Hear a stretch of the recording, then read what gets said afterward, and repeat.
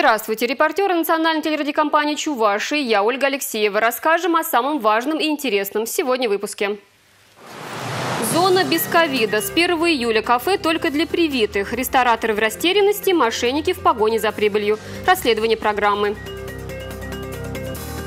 Раз ступенька, два ступенька. Почему жители девятиэтажки ходят пешком, но регулярно платят за ремонт лифта? Один юбилей, три юбиляра. Можно ли вернуться на 60 лет назад и существует ли искусство без времени?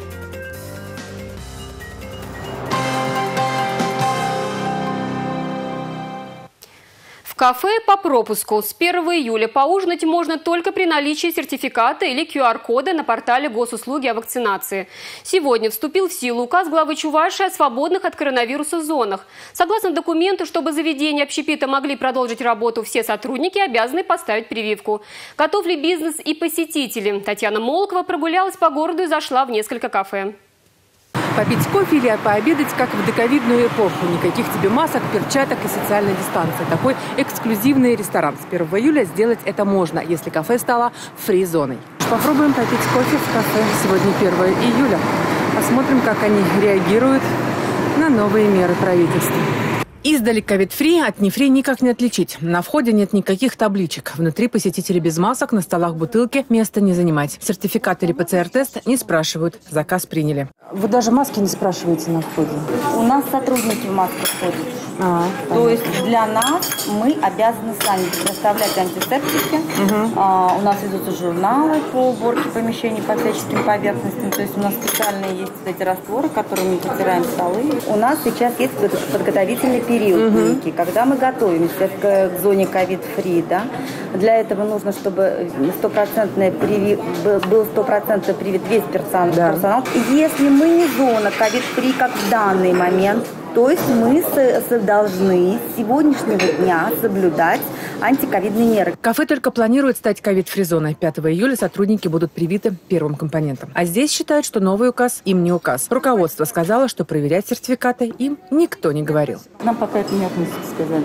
К вам не относится? Да, пока, да. А, но дело в том, что это касается не только тех, кто будет работать в ночное время, но ну, и пока вот э, всех. сказали, что пока только вот ночные заведения.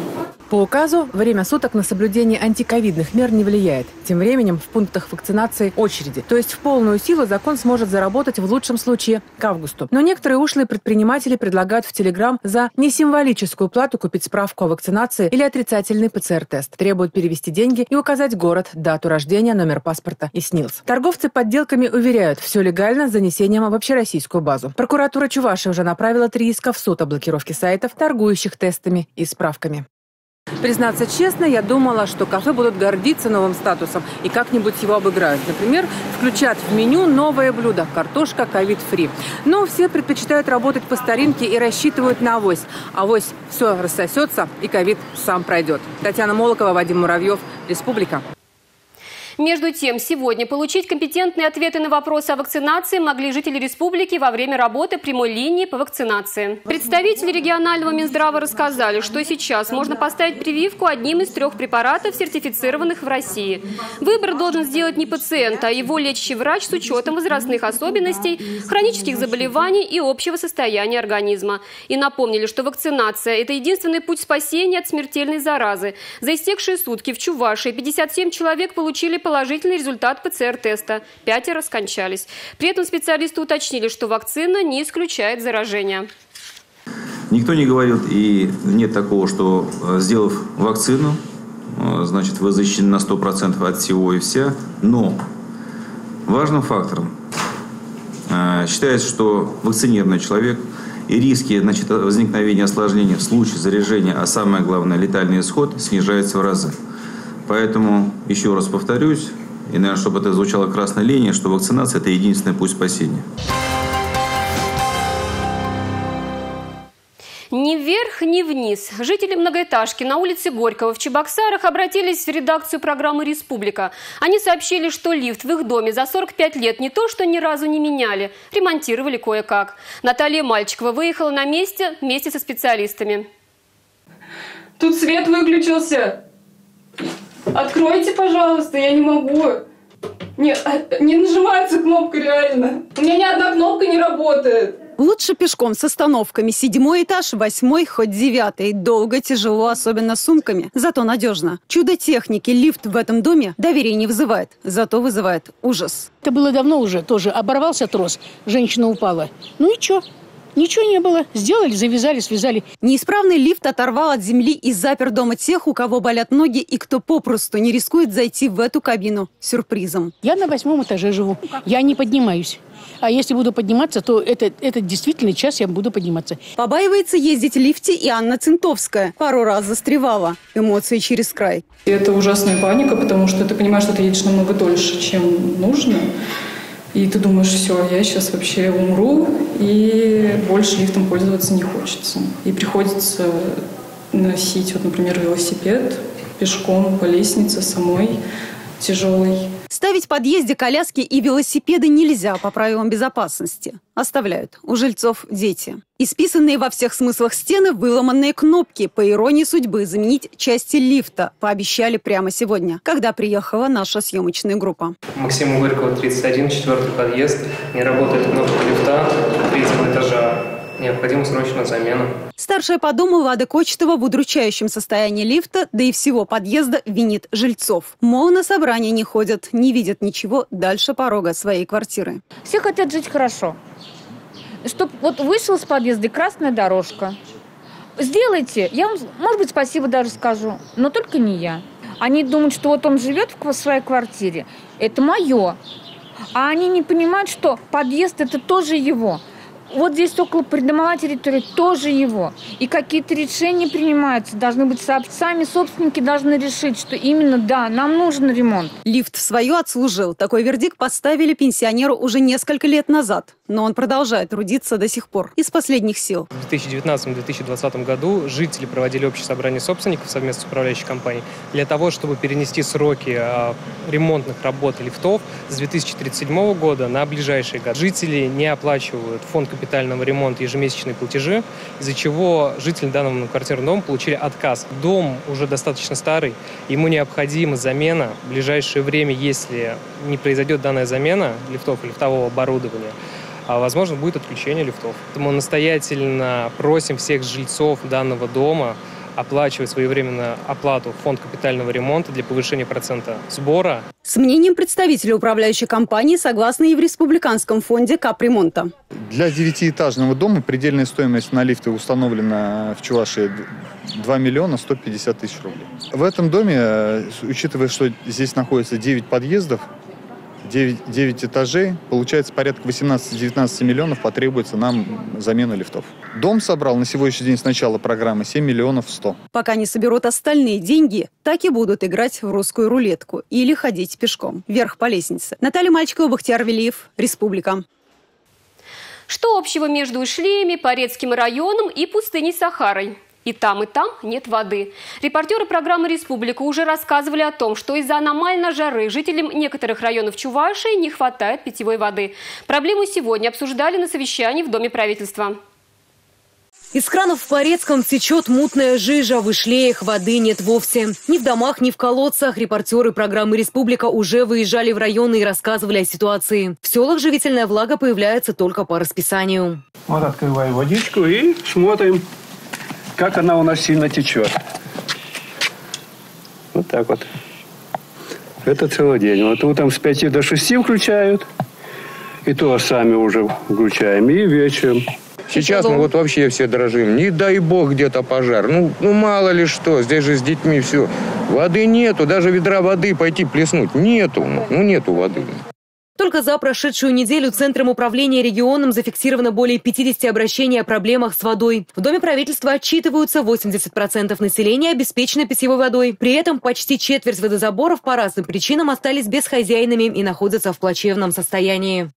А, по итогам а, данного совещания было установлено, что а, у нас 12 муниципальных районов, в принципе, Проблема незначительная, а возникающие вопросы э, закрываются в рабочем порядке и, соответственно, а, таких больших перерывов в поставке воды не имеется. Перебои в поставках э, связаны и как с понижением уровня подземных вод, в скважинах, недостаточная мощность насосного оборудования, которое устарело и не обеспечивает ту подачу, которая необходима с учетом водопотребления также износ систем сетей водоснабжения. В профильном министерстве считают, основная проблема – перегрузка сетей водоснабжения и так называемый заплаточный ремонт вместо капитального. Сейчас в ведомстве решают вопрос финансирования. Юлия Важенина, Николай Скворцов, Республика. Не просто паспорт. Права гражданина сегодня в торжественной обстановке вручили 14 юношам и девушкам республики. В купольный зал Дома правительства пригласили лучших из лучших. Победителей школьных олимпиад, творческих конкурсов и спортивных соревнований. Решение вручать вместе с паспортом и Конституцию России было принято правительством страны в мае этого года. Коснулось тех, кто получает первый паспорт в жизни, то есть в 14 лет. Это позволит повысить уровень патриотического воспитания и будет способствовать бережному и уважительному отношению к государственной символике России, считают в руководстве страны. Для детей моего возраста, ребят, это очень важный день. Мы ждали этого момента до 14 лет с нетерпением. Для меня лично большая честь находиться в этом зале сегодня. Я могу процитировать слова э, летчика Гагарина, космонавта.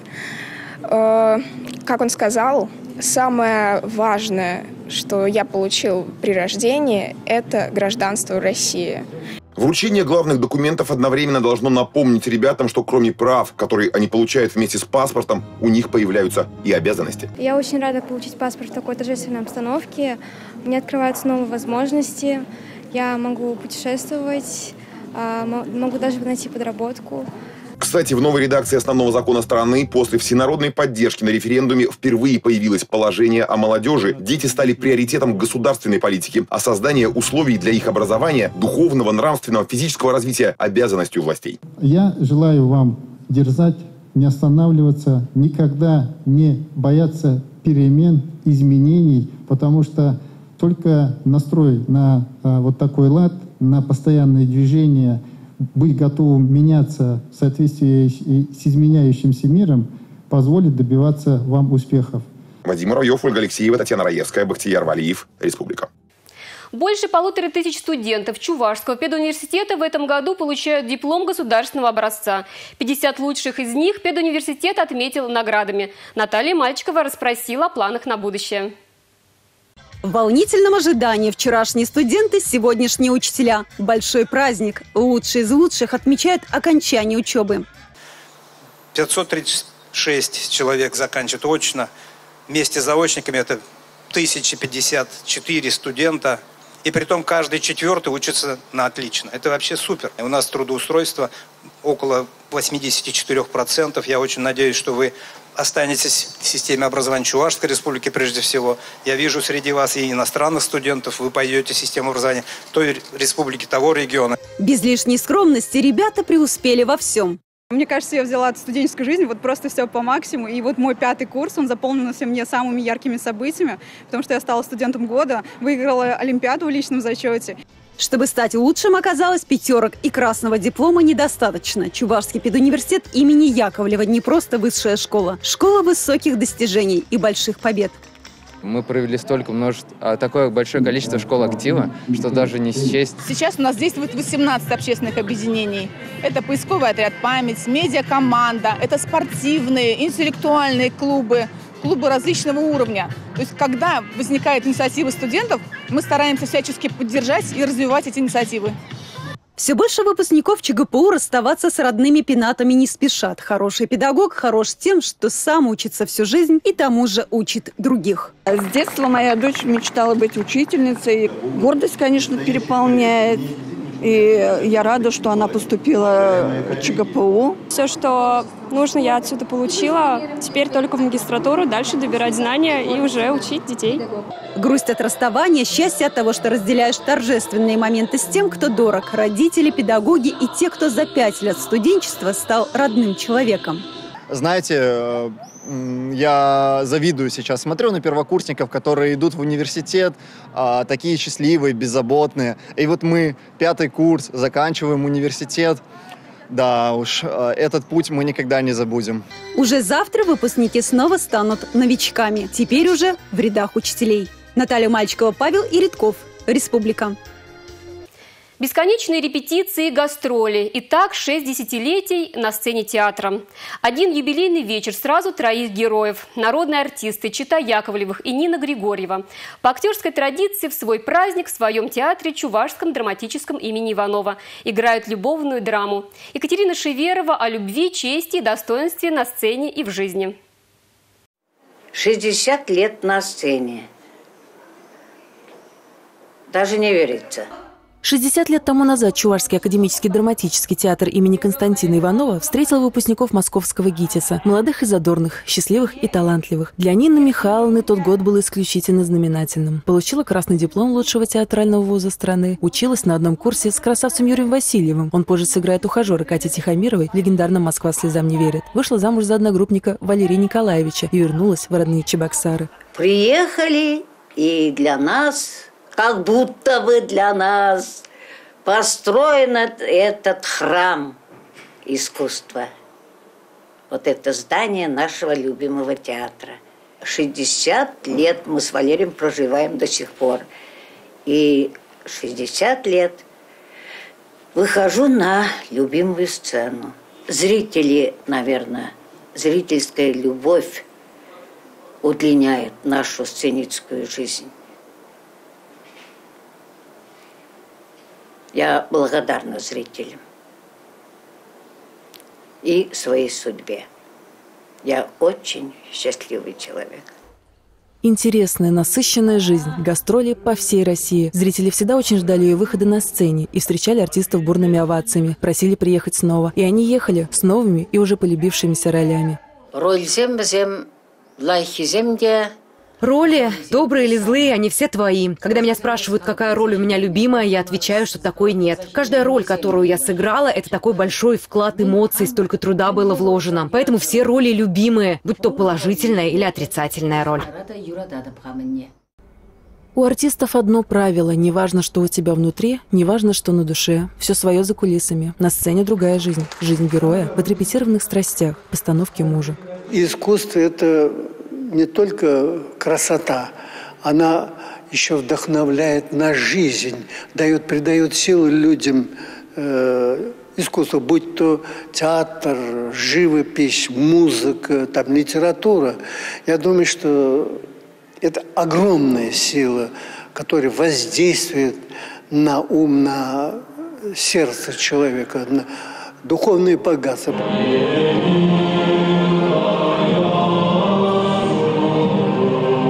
Сегодня на сцене молодые артисты в знак признательности и уважения мэтрам поют и танцуют о их молодости, о любви и мечтах, которые уже сбылись. Екатерина Шеверова, Алексей Зотиков, Сергей Емельянов, Республика.